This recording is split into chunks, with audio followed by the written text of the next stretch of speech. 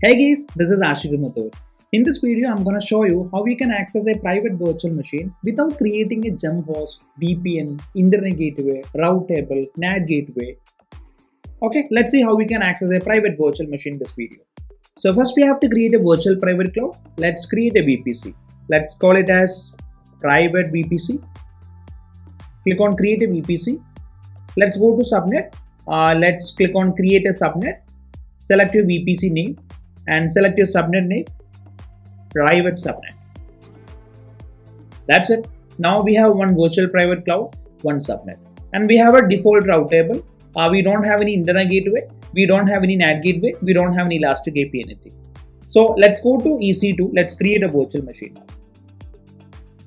And this should be disabled because we don't have any public IP address because uh, it's a completely private one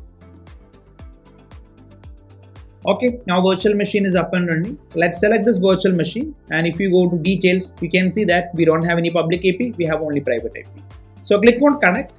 If you come to ec2 instance connect you can see there is a two warnings no public ipv4 and this is not in a public subnet.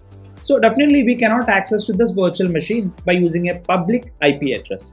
So click on this connect using EC2 instance connect endpoint. Uh, we have to create an endpoint. Click on this create endpoint so bottom you can see that EC2 instance connect endpoint. You can call this as endpoint. I'll select the virtual machine endpoint. We have to select the VPC. Uh, subnet also we have to select. This is my subnet and click on create as endpoint. Okay, after a few minutes you can see that our endpoint is available right now. So we can get back to our virtual machine and we can refresh over here and we can select the endpoint. Uh, just click on connect.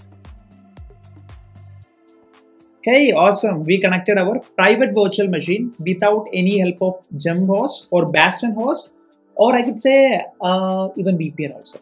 You can see a private IP address got. Awesome, awesome guys. Thank you for watching my video.